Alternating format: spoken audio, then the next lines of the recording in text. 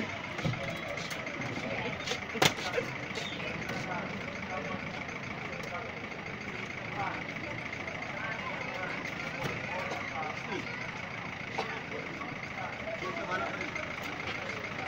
yabona benziwe hallo amatela yakorona phela zilawo